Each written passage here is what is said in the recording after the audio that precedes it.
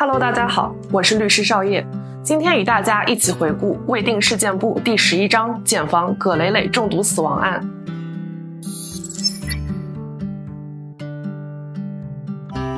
这起案件中，葛蕾蕾的身亡是一起令人惋惜的悲剧。孟真最后是在明知甜甜乐能够致死的情况下，依旧向莫医生进行了投毒行为，也因此被绳之以法。那可能很多玩家都会想，如果没有第二起投毒事件，单就孟真向葛蕾蕾投毒的行为，是否会受到法律的制裁呢？如果构成犯罪的话，又是否足以认定为故意杀人罪呢？首先，我们要看的是客观事实。这起案件中，事实有三：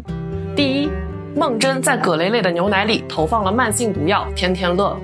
第二，葛蕾蕾饮用了被投毒的牛奶；第三，葛蕾蕾毒发身亡。和之前的几个案件一样，我们要判断事实之间是否存在因果关系。因为葛蕾蕾饮用了孟真投毒的牛奶，所以葛蕾蕾毒发身亡。如果没有孟真的投毒行为，葛蕾蕾就不会毒发。因此，我们可以明确，孟真的投毒行为和葛蕾蕾的死亡结果是存在因果关系的。最后，我们要看的就是孟真的主观罪过。孟真投毒的行为是基于他非常明确的主观驱动力而产生的，他非常清楚自己在实施的是一个下毒的行为，并且会造成危害结果，因此孟真投毒的行为不符合刑法中对于过失行为的评价，孟真的行为也不应评价为过失犯罪，应当属于故意犯罪。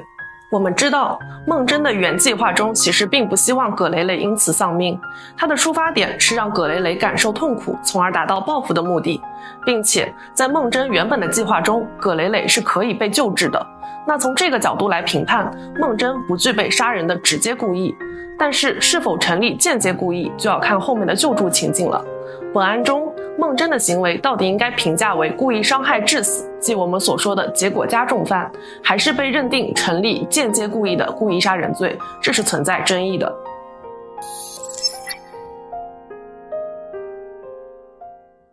葛蕾蕾毒发身亡的结果是偏离了孟真的预想的。葛蕾蕾选择将她藏入衣柜，并且用拐杖拴住了柜门，导致孟真在客观上无法对葛蕾蕾实施及时的救助行为。而葛蕾蕾也是受到了毒发和脑膜炎的双重影响，加速了毒发的进程，同时因为失声丧失了对外求救的能力。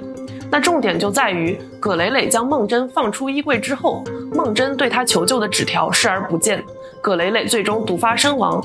孟真没有对葛蕾蕾进行及时的救助，在这个过程当中，她的主观心态是否发生了变化呢？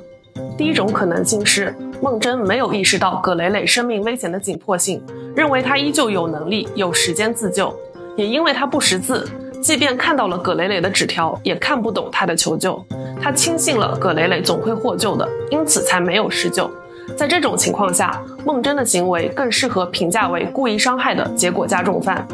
第二种可能性是，孟真离开衣柜时已经意识到葛蕾蕾生命垂危，但她出于自己的慌乱和恶意，放任了葛蕾蕾的死亡。这种情况下，她明明可以对葛蕾蕾进行施救，避免死亡结果的发生，但孟真却没有这么做，很有可能就会构成间接故意的故意杀人罪。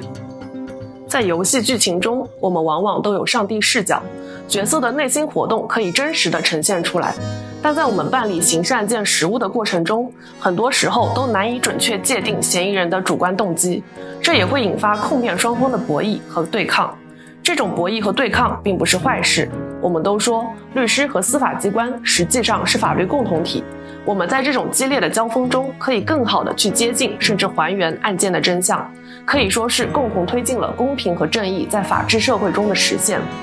此外，律师还想提醒各位，在任何情况下，自己的生命安全都应当得到优先的保障。选择保护和救助他人固然是高尚的，但这应当建立在对自己的安全有准确评估的基础之上，不要轻易的以身涉险。我们自己的生命也一样的宝贵。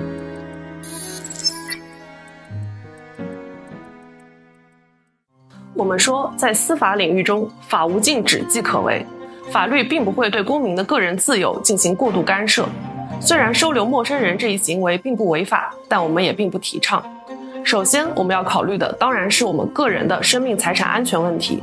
对于来历不明的陌生人，我们不能清楚地预知风险和隐患，也不能准确地判断他的身份和社会关系。